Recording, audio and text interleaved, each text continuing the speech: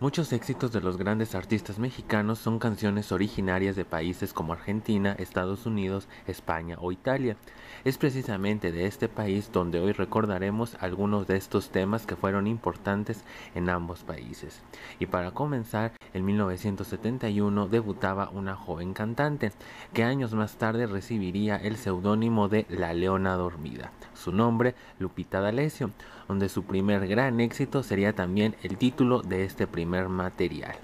La canción Mi corazón es un gitano.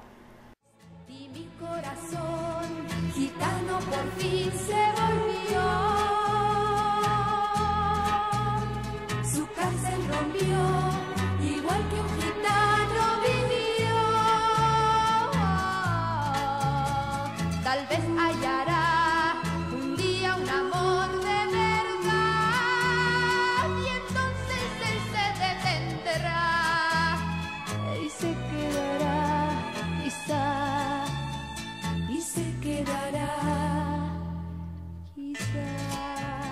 Lo cierto es que quien dio a conocer originalmente esta canción fue el intérprete italiano Nicola Di Bari, tema con el cual ganaría el Festival de San Remo ese mismo año.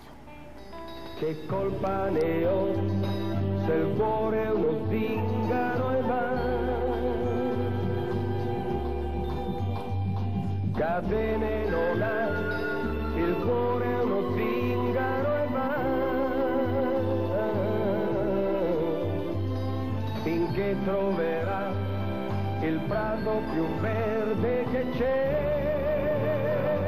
Raccoglierà e si fermerà, chissà, e si fermerà. Para 1981, un trío italiano lograba fama mundial con el tema Será porque te amo, canción con la cual participarían en el Festival de San Remo, obteniendo el quinto lugar y recibiendo grandes reconocimientos, entre ellos su único galardón a los 15 grandes de siempre en domingo. Su nombre, Richie e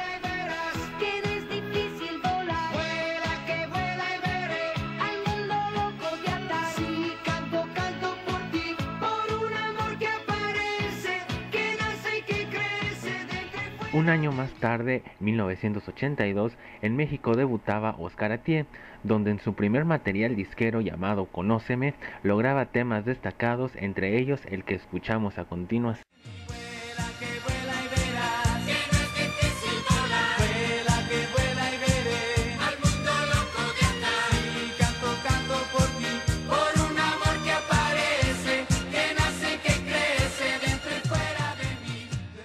Años más tarde, la cantante mexicana Thalía, con su producción Lunada, también grabaría este tema y sería el elegido para promocionar su disco en nuestro país. Duermo y no duermo, pienso y no estoy pensando, tan solo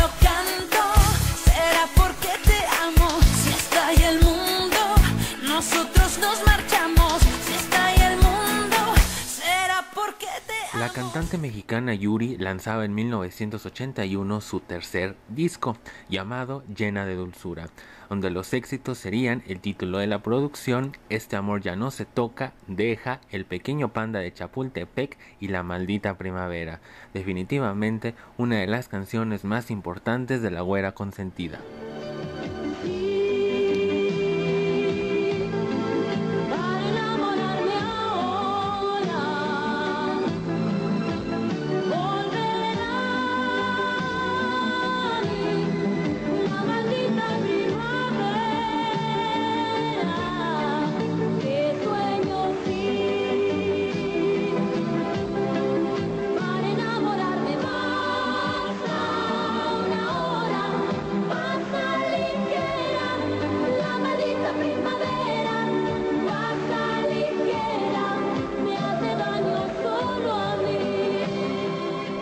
Aunque la versión original de este tema sería Maledetta Primavera, grabada originalmente por la cantante italiana Loretta Goggi y con la cual participara también en el famoso certamen antes mencionado.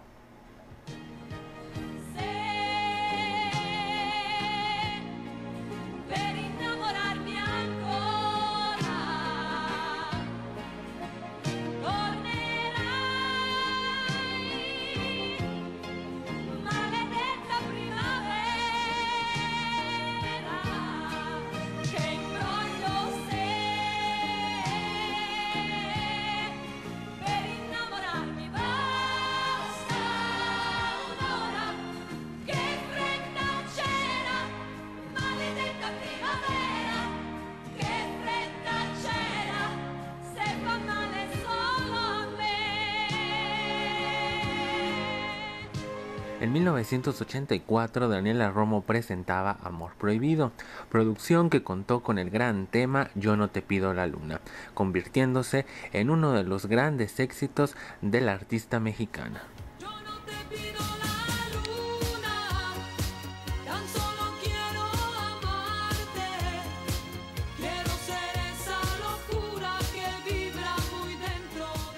Originalmente esta canción se llama No Boglio mica la luna y la dio a conocer en este idioma la cantante Fiordaliso. ¿La escuchamos?